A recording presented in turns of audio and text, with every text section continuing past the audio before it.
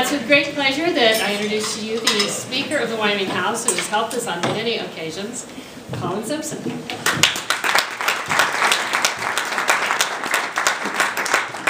Thank you, Lynn. Hi there, everybody.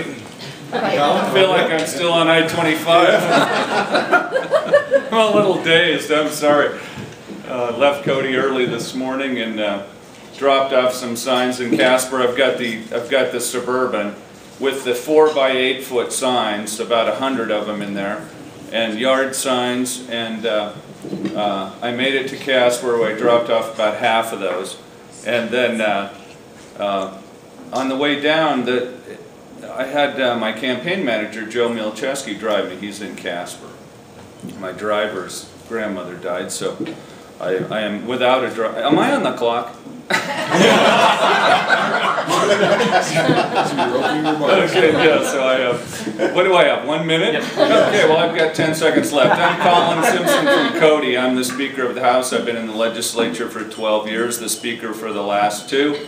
I've served on numerous committees, and uh, most importantly to you probably, I have a, a fairly extensive background in tourism, trade and retail just because I grew up in a town where that was very important and still is very important. I'm on the board of directors of the Buffalo Bill Historical Center and have been now for about five years. I was on the, the Buffalo Bill Museum uh, advisory board. I think I've been on there for about 16 years and we're always trying to figure out how we market for that institution and how we do a good job with that also.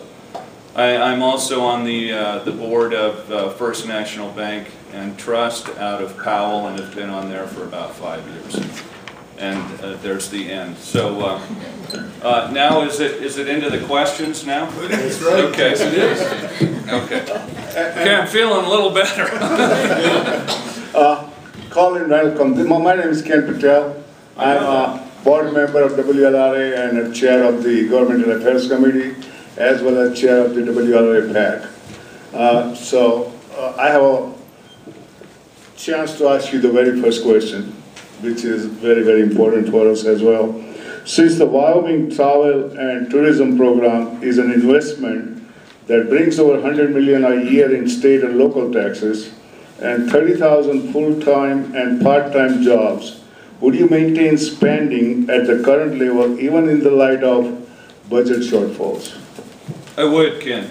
I, I believe that's very important, and and I know that's historically been the practice, but even in the legislature in the last 12 years, where we've, you know, the, the first couple years of, of my term there, uh, we were looking at some budget deficits, but even then, uh, I, I, do believe strongly in the in the logic that you uh, you maintain the advertising because uh, it's got such a ripple effect through the economy. So the short answer is yes, I do support that.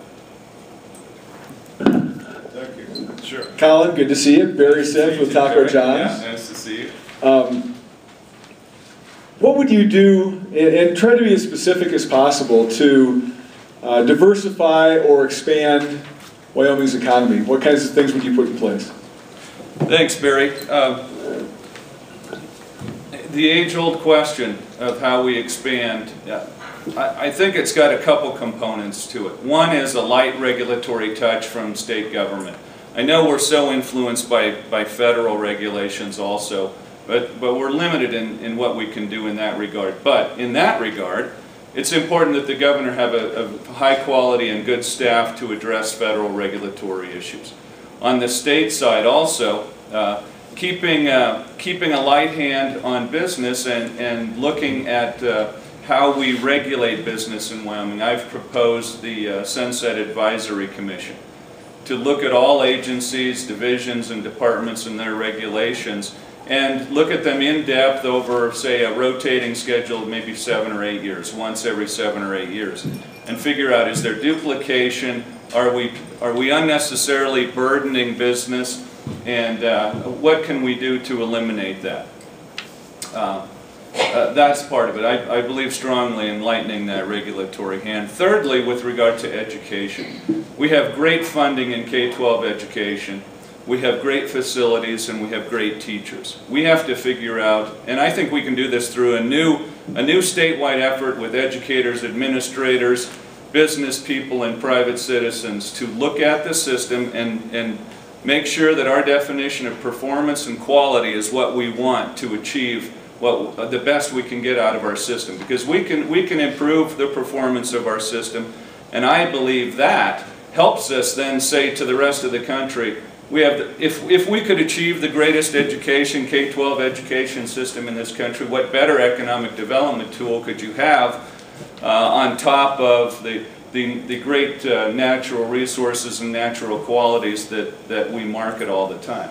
So it's education, it's, it's a light regulatory hand, and it's encouraging entrepreneurship and, uh, and small business because that's, you know, each business starts as a small business somewhere, and that's very important that we encourage that. And we've done that through the business, Wyoming Business Council, Business Ready Communities, uh, the community facilities programs, and, and those have been useful also. Thank you. Thank you. Mr. Simpson, I'm Tim Giverson with J.C. Penney and uh, current chair of the Wyoming Retail Association. Uh, My first question to you is, if revenues fall below projections and there's a need for additional taxes uh, during your administration, what specific taxes would you propose?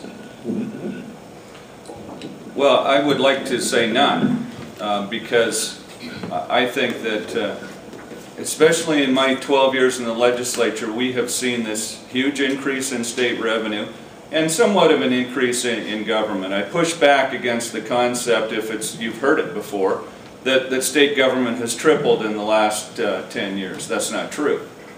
Uh, And I can, I can give you a lot of specifics on that. We have increased some things in state government. But uh, uh, I believe we need to look at cutting, and part of that is the Sunset Advisory Commission. And I also believe that those agency heads and division and department heads who are most right there tuned into what they're doing um, know what can be cut, and we've, we've initiated that with the governor last year, uh, 10% cut, some, some were 10, some were a little less. Uh, But, uh, you know, if, I, I would have to see what situation we were in, where dollars were needed, where sales tax levels were, and, uh, and other severance, federal mineral royalty taxes. And I wouldn't want to make that decision right now because that's an extremely tough decision. I do have opinions about tax fairness and which taxes are, are more fair than others. Uh, But uh, I think you would have to apply that. But that would be my last choice, would to raise, would be to raise taxes. So did I waffle around enough on that to, uh, to avoid the, you know, uh, there are, there certainly are taxes that are more fair than others, but, but I think uh, you have to determine the circumstances of it too. Um, And I don't want to commit to raising any taxes, so I'm not going to.